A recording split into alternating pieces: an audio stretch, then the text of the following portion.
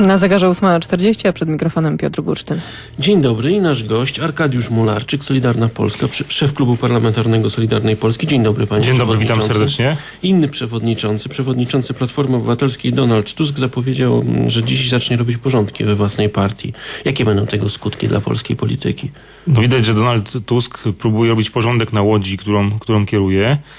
E, widać też napięcie pewne, które jest w Sejmie. Widać spotkające się grupki to Schetyna z Halickim, Tyszkiewiczem, to Gowin, e, więc to napięcie... Pan to widzi, czy tak, tak, tak pana, nie to, wiem, próbują wciągnąć? Nie, nie, nie, nie, to, to widać. Sojuszy. Panowie gdzieś tam zmierzają grupkami i e, spiskują. No to napięcie widać w Sejmie, widać też w mediach.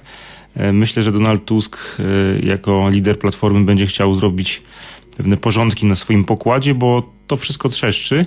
I też nie sposób nie odnieść wrażenia, że część tych różnego rodzaju spekulacji, które są w mediach na temat różnych ministrów, e, ich sytuacji majątkowej czy, czy innej, może być też wynikiem właśnie tej wojny wewnętrznej, bo, bo media publikują bardzo wiele informacji, które najprawdopodobniej pochodzą właśnie z wewnątrz Platformy Obywatelskiej. No ta wojna bulldogów pod dywanem trwa.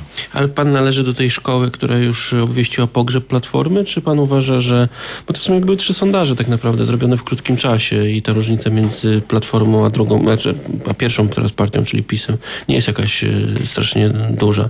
Nie, no, do wyborów mamy rok czasu do Europarlamentu do wyborów parlamentarnych 2,5 roku może się wiele wydarzyć i ktoś, kto jest w polityce dłuższy okres czasu wie, że niemalże z tygodnia na tydzień czy z miesiąca na miesiąc mogą nastąpić poważne przetasowania, ale na pewno Platforma słabnie i e, żyjemy w trudnych czasach, no, duże bezrobocie, ludzie wyjeżdżają za pracą. Jest generalnie obawa o utratę pracy, a nie widać też jakichś takich działań ze strony rządu, które by zmierzały do wsparcia gospodarki, przedsiębiorczości, do większej stabilności i pracy.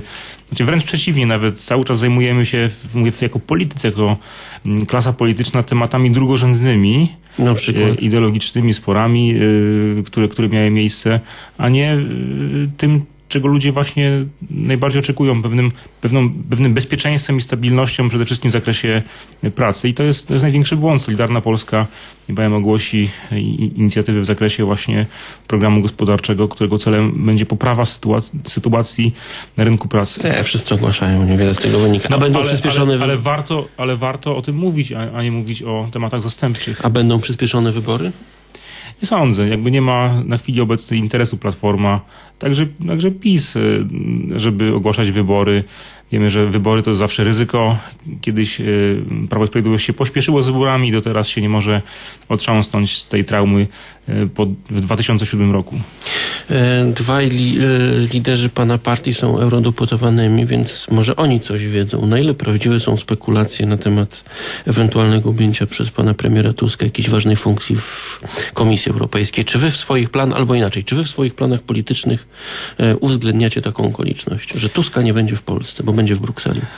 Znaczy, w mojej ocenie jest to stosunkowo mało prawdopodobne i realne. Myślę, że raczej jest to na chwilę obecną taką, takie podbijanie stawki Mm, popatrzcie, jacy jesteśmy wielcy. Kiedyś był Buzek, prawda, teraz może być Tusk, szefem ważnej instytucji, ale tak naprawdę niewiele z tego wynika, bo proszę powiedzieć, panie rektorze, czy pan może powiedzieć o jakimś sukcesie Jerzego Buzka na, na funkcji szefa Europarlamentu. No, była propaganda sukcesu. Niewiele z tego dla Polski wynikło. Po prostu ale nic. szefowie parlamentów y, nie są władzą wykonawczą, okay. są władzą ustawodawczą. Okej, okay, ale, ale proszę pamiętać, jak, jak wtedy odtrąbiano sukcesy o, o tym, jak, jak wzrasta znaczenie Polski i tak dalej, i tak dalej. No, Gdybyście mieli dostać marszałka w Sejmie, no, ale, no to, to wzięlibyście od razu in, i też można było was rozliczyć, czy wasz wicemarszałek osiągnął jakieś sukcesy. No inna skala, młodzium panie wicemarszałek marszałek Sejmu, a e, szef Parlamentu Europejskiego. E, raczej e, myślę, że jest to taka gra na wewnętrzne interesy krajowe.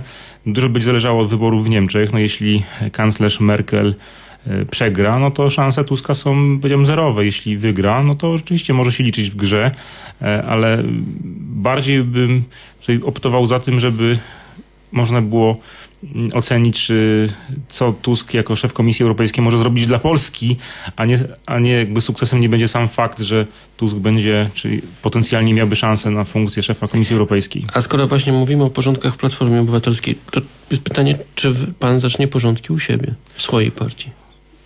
Ja jestem szefem klubu parlamentarnego, nie jestem szefem partii. No ale pana liderzy, mm, ich często nie ma. Rozumiem, że pan tutaj... I klub jest, per klub jest, klub jest e, uporządkowany. A partia? No stoicie w miejscu. Bo okres jest, nie jest łatwy.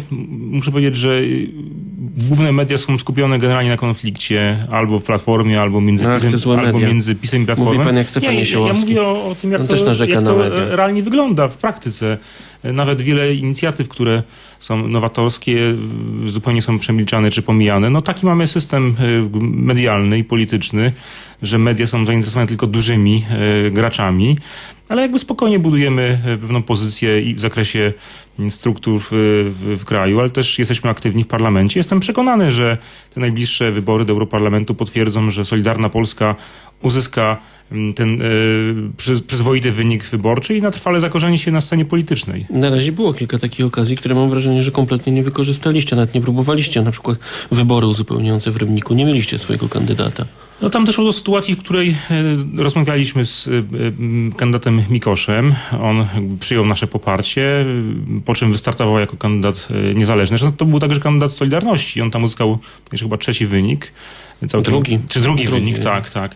Więc jakby on nasze wsparcie uzyskał i nasze struktury tam jego wspierały. Natomiast Bardzo dobry wynik PSL-u w zurbanizowanym regionie, bardzo dobry wynik Janusza Korwina-Mikke, a o Solidarnej Polsce jest cicho. A jestem tym bardziej zdziwiony, że pan pochodzi stamtąd. No, ja akurat pochodzę z, z, Racibo, z Raciborza, No, to akurat nie był, nie był mój okręg.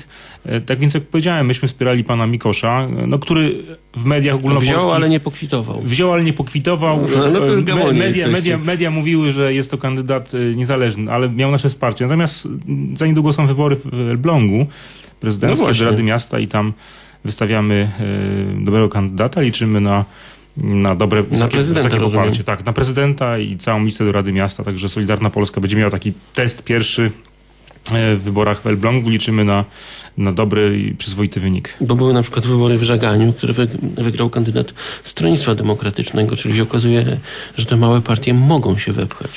Mogą, ale proszę pamiętać, że jednak w tych mniejszych miejscowościach e, zupełnie rządzą inne e, kryteria. Nie rządzą kryteria polityczne, raczej pewne uwarunkowania lokalne, raczej pewne autorytety os- osobowości lokalne.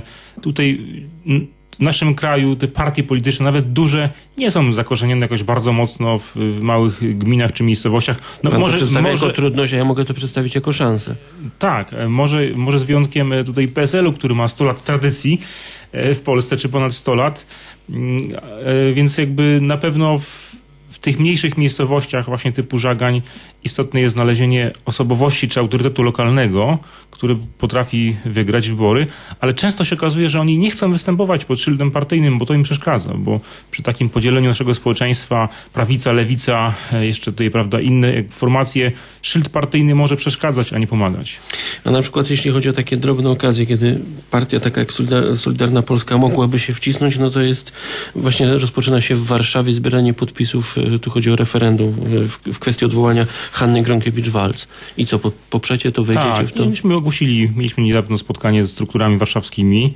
A macie takie e, struktury? Tak, są takie struktury. A macie radnych w Warszawie? No, nie startowaliśmy jeszcze do No, Rady, ale rozumiem, Rady że Miasta w Małopolsce Warszawie. macie radnych, bo radni PiSu przeszli do... e, Tak, w. Małopolsce tak. I tutaj mm, członkowie naszych struktur będą także uczestniczyli w akcji referendalnej, będą zbierać podpisy i włączymy się w tą inicjatywę. No, Solidarna Polska nie startowała jeszcze w żadnych wyborach samorządowych. E, Te będą, które będą za półtora roku, będą pierwsze.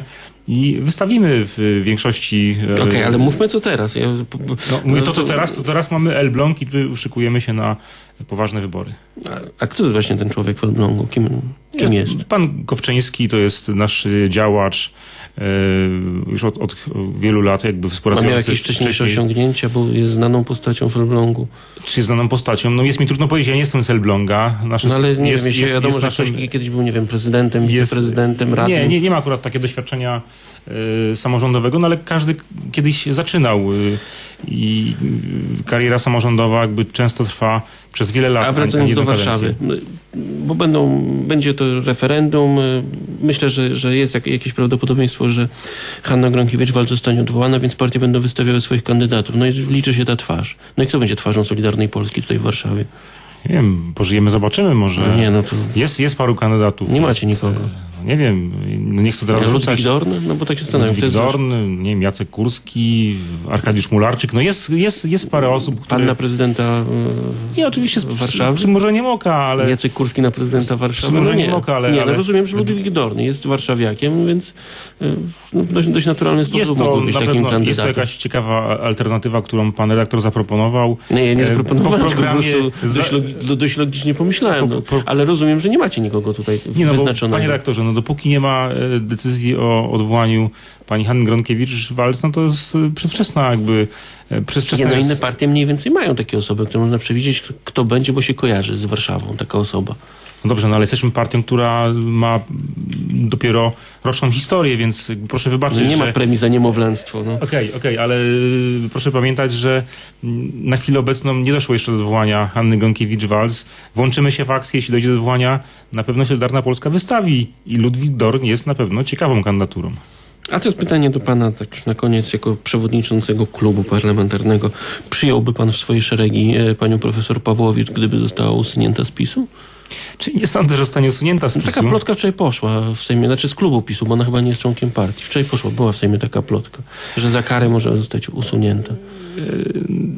No, oczywiście pożyjemy, zobaczymy. Ja, Ale przyjąłby ja, pan? No a dlaczego nie? No jest, A, bo medialna głośna, jest no parlamentarzystką, jest profesorem prawa. Ja ją osobiście bardzo lubię i cenię, aczkolwiek y, widać, że no ma pewne słabości, które e, tej jedna stacji wykorzystuje w sposób brutalny. E, Ja Natomiast, sam wiedziała, dokąd szła.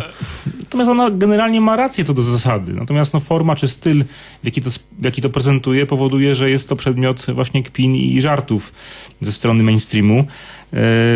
A szkoda, no bo przesłania to de facto treść. No, to czasem bardzo ważne. Rzeczywiście, no i to jest słabość w tym przypadku pani profesor Pawłowicz.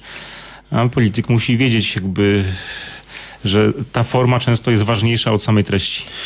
Czyli pani profesor Pawłowicz ma gdzie pójść, gdyby została usunięta z klubu Prawa i Sprawiedliwości. Dziękuję. Dziękuję Arkadiusz. Mularczyk, Solidarna Polska, był dzisiaj gościem Polskiego Radia RDC. Dziękuję panie przewodniczący. Dziękuję. Rozmawiał Piotr Gusztyn na zegarze za 7 minut będzie godzina 9.